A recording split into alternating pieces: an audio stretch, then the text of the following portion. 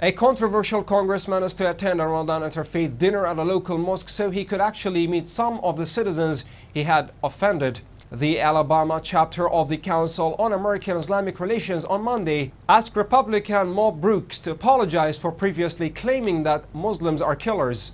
CAIR, the nation's largest Muslim advocacy group, says that's simply not true. American Muslims are committed to upholding equal rights and protections for all as the law of the land as enshrined in the U.S. Constitution. CAIR Alabama Executive Director Khaula Hadeed said in a statement, Brooks made it clear in an interview with WAFF that he is just fine accusing an entire religion of 1.6 billion people of being violent homophobes. The controversial Republican congressman did not mention whether he would accept the dinner invite.